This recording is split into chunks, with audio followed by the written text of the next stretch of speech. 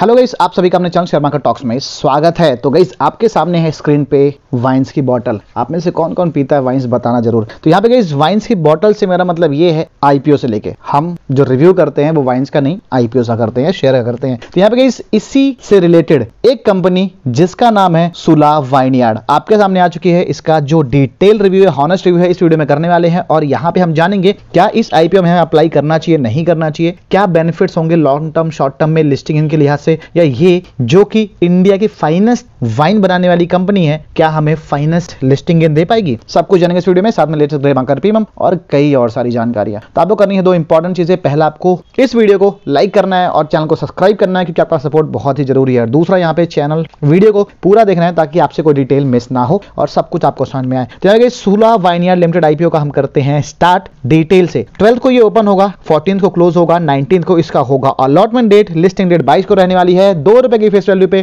तीन सौ सतावन रुपए प्राइस बन रखा गया है। यहाँ पे ध्यान देने योग्य बात यह है कि दो की फेस वैल्यू है। यानी कि स्टैंडर्ड फेस वैल्यू दस की अगर हम करें तो पाँच से मल्टीप्लाई करना पड़ेगा। और इसके लिहाज से हमें जो 357 है शेयर उसको भी पाँच से मल्टीप्लाई करना पड़ेगा। और अगर जो हम देखें तो स्टैंडर्ड फेस वैल्यू पे इसका जो प्राइस बैंड आएगा, हमारे समझने के लिए प्राइस बैंड तो इसका तीन सौ सतावन ही है। लेकिन सत्रह रुपए पे एक शेयर हमें ये स्टैंडर्ड फेस वैल्यू का ऑफ़र कर रही है। तो यहाँ पे रिटेलर्स के लिए बाईस शेयर का एक लॉट बनने वाला है। और जो इशू का साइज़ है, वो नौ सौ करोड़ का है, जो कि पूरा का पूरा ओएफएस है। ये पैसा प्रमोटर्स के लिए, जो इन्वेस्टर्स होंगे, इनका, उनके लिए है। कंपनी के यूज़ में कुछ भी नहीं आने वाला है। और इसको मार्केट बहुत ही नेगेटिव देखता है। और आपको पता ही है ये बात। यहाँ पे गाइस जो रजिस्ट्रार है, वो केफिन टेक हमें देखने को मिल रहा है। और केफिन टेक का आईपीओ बहुत दिनों बाद आया। वरना लिंकिन टाइम ने पूरा मार्केट शेयर ही लेके रखा हुआ। लिंकिन टाइम का अगर जो आया आईपीओ तो देखा जाएगा। लिंकिन टाइम वही जैसे हम लेटिन टाइम के नाम से जानते हैं रजिस्ट्रार ही है। केफिन टेक हमेशा आईपीओ अलॉटमेंट टाइम से देता है इसलिए ये सही भी लगता है और भी कई सारे रीजन है। तो यहाँ पे इस, इस कंपनी की डिटेल रिव्यू में आ जाते हैं। कंपनी 2003 में इनकॉर्पोरेट हुई थी?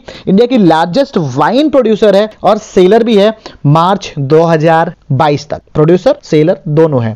ये कंपनी जो है गाइस कई सारी तरह के वाइन्स बनाती है। देख सकते हो जैसे रासा हो गया डिंदोरी हो गया दासोर्स हो गया संतोरी मदरा दिया ठीक है? और ये सब सुला ब्रांड के नाम से आती है। आप सुला वाइन यार्ड नहीं मांगते होगे। आप अगर जो जाओगे वाइन शॉप पे तो आपको सुला वाइन कहना पड़ेगा और बाकी ये सारी इनकी कैटेगरी होगी। यहाँ पे इस कंपनी का जो बिज़नेस है, वो दो कैटेगरी में डिवाइडेड है। एक तो प्रोडक्शन और डिस्ट्रीब्यूशन वाइन्स एंड स्पिरिट्स का। दूसरा sale and service from ownership and operation of wine tourism venue का। ठीक है?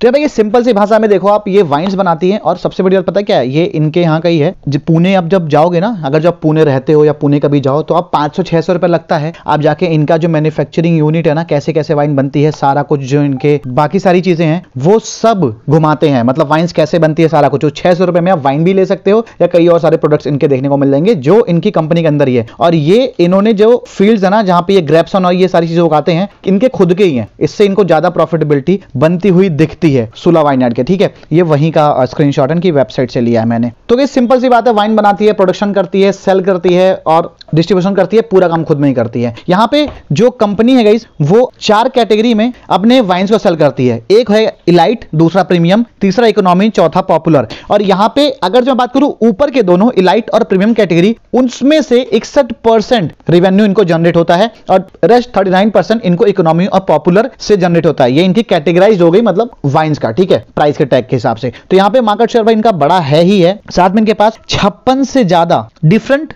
लेबल्स की वाइन है। चार इनके पास ओन प्रोडक्शन फैसिलिटी है और दो लीज पे ले रखी है। इनके पास इंडिया की लार्जेस्ट नेटवर्क है वाइन्स को लेके, जो कि करीब तेरह हज़ार रिटेलर्स टच पॉइंट को कवर करती है और ये 2021 का डेटा है। ये डी टू सी में भी काफ़ी एक्टिव हैं और यहाँ पे इसके पास 50 डिस्ट्रीब्यूटर्स 11 कॉर्पोरेट 14 लाइसेंस सेलर सात कंपनी डिपोट तीन डिफेंस यूनिट मतलब डिफेंस को भी सप्लाई करते हैं हैं 30 सितंबर 2022 के डेटा अकॉर्डिंग और 23000 पॉइंट्स ऑफ़ सेल हैं इंक्लूडिंग 13500 रिटेल टच पॉइंट और 9000 house and restaurant caterers 31 March 2022 का डेटा है। तो यहाँ पे गई, काफ़ी ज़्यादा हमें अग्रेसिव ये देखने को मिल रहा है अपने बिज़नेस में और काफ़ी ज़्यादा हमें ब्रॉड एरिया देखने को मिल रहा है। तो अब ये जो है, सही है, नहीं है बिज़नेस जो है, वो फाइनेंशियल्स पे हम एक बार समझने की कोशिश करते हैं और फाइनेंशियल्स कंपनी की हम देखते हैं। यहाँ पे गई, इकतीस मार्च 2020 2021 2022 और सितंबर 2022 का डेटा देखेंगे। यहाँ पे ये डेटा हमें नहीं देखना इसको हम कर देते हैं इग्नोर ठीक है? तो यहाँ पे हम स्टार्ट करते हैं एसेट से। आठ करोड़ का एसेट था जो कि घटता हुआ दिखा दो हज़ार इक्कीस में वही कोविड टाइम सात सौ इक्यावन करोड़ फिर सात सौ अट्ठावन बढ़ता हुआ हमें दिखा, लेकिन बहुत थोड़ा सा सौ सत्तर करोड़ उन्होंने सेप्टेंबर तक का डेटा ये, और देखा जाए तो यहाँ से पाँच से छह महीने के पास और बचेंगे तो इसको डबल कर सकते हो आपकी करीब 1400 तक का कर लेंगे एसेट ये। अगर जो ऐसा ही बढ़ा है, लेकिन जो बढ़ा रहे हैं ये, पिछले क्वार्टर से कंपैरिजन में अगर जो सेम मैं देखूँ सितंबर 2021 से तो यहाँ पे बहुत ज़्यादा नहीं बढ़ा है, ठीक है? तो सितंबर 2021 से कंपैरिजन छोड़ते हैं यहाँ पे, हम इसी तरीके से देख लेंगे। उसके बाद गई एस रेवेन्यू की बात करूँ तो पाँच करोड़ था, फिर चार सौ इक्कीस करोड़ बनाया मतलब कम हुआ है। उसके बाद अगर जो कंपेरिजन दो हज़ार इक्कीस से तो बढ़ा है, लेकिन दो हज़ार बीस से कंपेरिजन करोगे तो घटता हुआ दिखा कोविड वाला टाइम उसके बाद यहाँ पे दो सौ पच्चीस करोड़ में बनता दिख रहा है दो हज़ार बाईस में। दो दो का आप कितना कर लोगे? पाँच या पाँच करोड़ या पाँच सौ करोड़ कर सकते हो। तो अगर जो कंपेरिजन करोगे तो यहाँ पे पिछले साल से हमें बढ़ता हुआ ही दिखेगा, लेकिन बहुत ज़्यादा ग्रोथ हमें यहाँ देखने को नहीं मिल रही है इसमें। प्रॉफिट की बात करें तो 2020 में माइनस पंद्रह करोड़ था, जो कि तीन करोड़ के प्रॉफिट में तब्दील हुआ 2021 में और अभी बावन करोड़ का प्रॉफिट आता हुआ दिखा है। इस क्वार्टर की बात करूँ मतलब सितंबर तक का तो 30 करोड़ कमाया तो 30 को डबल कर दू 60 करोड़ 55 से 60 करोड़ 70 करोड़ मैक्सिमम कमा सकते हैं। तो यहाँ पे जो ग्रोथ है, वो ऐसा नहीं कह सकते, बहुत आउटस्टैंडिंग परफॉर्मेंस कह सकते हैं, ठीक है? लेकिन हाँ यहाँ पे भाई लॉस था रिकवर किया लॉस रिकवरी के बाद तीन करोड़ दिखाया और फिर यहाँ पे बढ़िया ग्रोथ दिखाई है।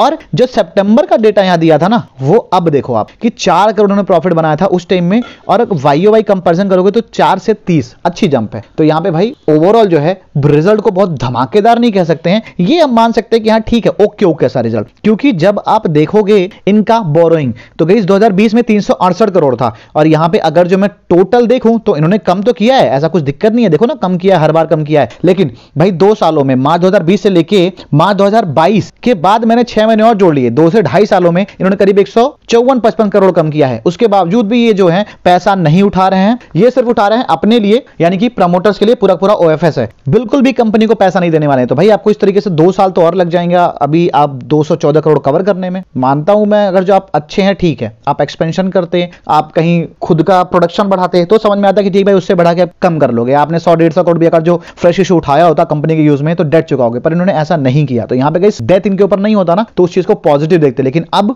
और ज़्यादा नेगेटिव पॉइंट हो जाएगा, इनका पूरा का पूरा ओएफएस आना। तो इस चीज़ को हम आगे भी लेके चलेंगे कैरी करेंगे। तो इस चलिए वैल्यूएशन की बात करते हैं। अर्निंग पर शेयर इनका जो प्राइस बैंड है थ्री फिफ्टी सेवन रुपीज़ उस पर अगर जो आप देखो तो आपको एक शेयर पे छह रुपए पैंतीस पैसे कमाने का मौका मिल रहा है। अगर जो मैं पी रेशियो की बात करूँ तो इसके प्राइस बैंड में आप डिवाइड कर दो, इसका ईपीएस अर्निंग पर शेयर और आपको आ जाएगा ये करीब 54.67 इसका पी रेशियो किसी भी शेयर का, किसी भी आईपीओ का इस तरह से आप निकाल सकते हो पी रेशियो और उनकी बात करोगे तो 11.45 परसेंट एनवी की बात करूँ तो 55.34 तो वैल्यूएशन के पहलू पे भी बहुत हमें खास करती हुई नहीं दिख रही है। ये यहाँ पे अगर जो ईपीएस जो है, वो दस ग्यारह होता तो सेटिस्फेक्शन होता। जबकि अगर जो आप जाके देखोगे तो मैंने स्टार्टिंग आपको बताया कि इनका एक शेयर सत्रह सौ रुपए का स्टैंडर्ड फेस वैल्यू मतलब पहले ही अपने शेयर के टुकड़े करके हमको दे रहे हैं। तो गई पियर कंपेरिजन भी हम देख लेते हैं इसमें। पियर कंपेरिजन में गई इनकी जो पियर्स है, वो यूनाइटेड स्प्रिट हो गई रेड को खेतान हो गई यूनाइटेड ब्रेवरीज हो गई। तो आपको यूनाइटेड ब्रेवरीज तो बहुत महँगा देने को मिल रहा है, लेकिन अगर जो आप देखोगे रेड को खेतान से तो भाई महँगा देखने को मिल रहा है। यूनाइटेड स्प्रिट से कंपेरिजन करोगे तो इनका चौवन आता हुआ दिख रहा है और यहाँ पे सिक्सटी तो यहाँ पे भाई रेड को खेतान इनसे सस्ता है, लेकिन बाकी दोनों कंपनियाँ महँगी है। यूनाइटेड स्प्रिट बहुत ज़्यादा महँगी नहीं कह सकते, पर हाँ ठीक है, महँगी है। और यूनाइटेड ब्रेवरीज तो बहुत ज़्यादा महँगी है। तो पियर कंपेरिजन में तो ये ठीक ठाक से हमें देखने को मिल रहा है वैल्यूएशन के पहलू पे। एंगेज यहाँ पे एक पॉइंट और भी है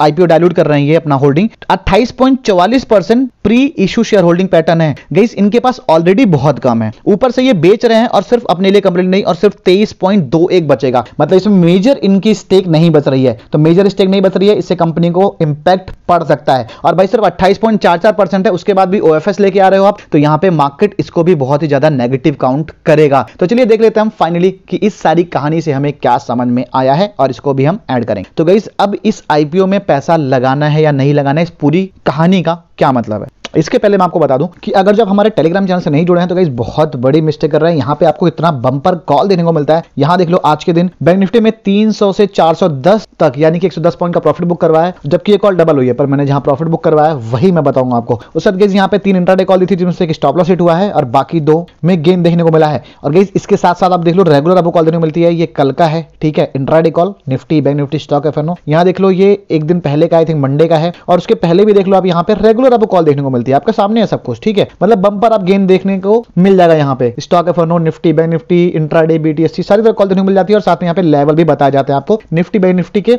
मेजर लेवल्स और आज जिसने भी उस लेवल पे काम किया होगा, बहुत ही मोटा पैसा बनाया होगा। तो यहाँ पे गई आपके लिए चैनल ज्वाइन करना बहुत ही ज़रूरी है। नीचे डिस्क्रिप्शन में नंबर एक पे इसका लिंक मिल जाएगा नंबर दो पे न्यूज़ चैनल जहाँ पे आईपीओ और मार्केट की सारी लेटेस्ट अपडेट चाहे जीएमपी की बात करें या आईपीओ आने की बात करें, सब कुछ दी जाती है नंबर दो पे न्यूज़ चैनल का। नंबर एक पे ये चैनल का, जहाँ पे बाईस के सब्सक्राइबर देखने को मिल रहे हैं। सेम इस डीपी के साथ जुड़ना गई अगर आप सर्च करोगे नाम कि चलो लिंक काम नहीं कर रहा, नाम से जुड़ेंगे तो सेम इस डीपी के साथ जुड़ना। कई सारे लोग हमारी फेक डीपी लगा के हमसे ज़्यादा फेक सब्सक्राइबर्स लाके टेलीग्राम पे चैनल बना के बैठे हुए और कई सारे चैनल बने हुए हैं। तो सही चैनल से जुड़ना ताकि आपको बेहतर अपडेट मिल सके। तो चलिए हम वापस देखते हैं सुलह के बारे में। तो सुलह वाइन यार्ड में हमने सब कुछ देख लिया। वैल्यूएशन के पहलू पे हमें महँगी थोड़ी सी देखने को मिल रही है। प्राइस में थोड़ा सा महँगा देने को मिल रहा है। नेगेटिव पॉइंट हमने ओएफएस को यहाँ पे देख लिया। तो ये एक पॉइंट जो है ओएफएस वो नेगेटिव देखने को मिल रहा है और प्राइस प्राइसमेंट जो है थोड़ा सा महँगा देने को मिल रहा है। पियर कंपेरिजन में जस्टिफाई तो हो रहा है, लेकिन कहीं ना कहीं अगर जो ये प्राइस बैंड जो है, दो की फेस वैल्यू पे 200 250 के आसपास आता तो मेरे ख्याल से बढ़िया लिस्टिंग की उम्मीद होती। है लिस्टिंग गेन के लिए यहाँ पे सब्सक्रिप्शन अच्छा होना चाहिए, और दूसरी बात यहाँ पे